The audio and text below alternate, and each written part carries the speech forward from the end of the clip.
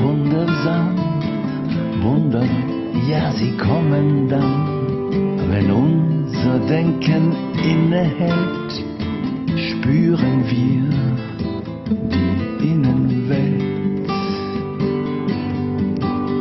Ein Wohlgefühl führt uns hinein in unser inneres Sein, achtsam durch das Leben gehen.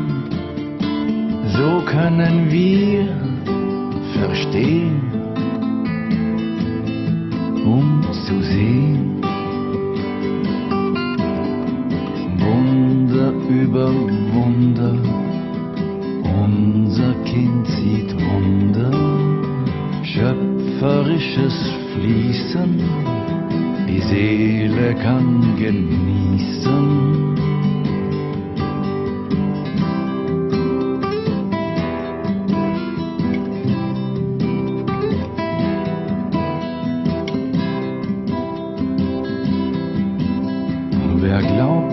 Dass er schon alles weiß, weiß zu viel vom alten Scheiß, der nicht so richtig glücklich macht, obwohl er scheinbar gut durchdacht.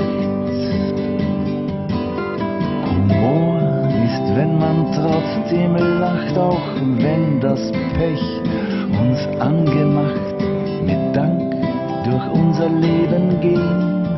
ja auch zum eigenen Wandel stehen.